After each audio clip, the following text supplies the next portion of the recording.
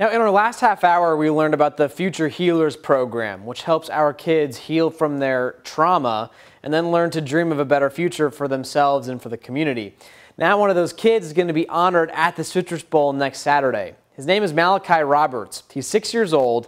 He was blinded in a shooting last year.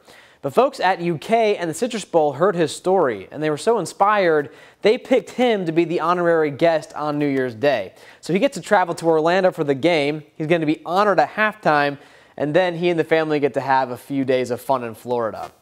Now you can catch the Citrus Bowl and all of the excitement around it right here on WHAS 11. Our live reports from Orlando kick off this Wednesday.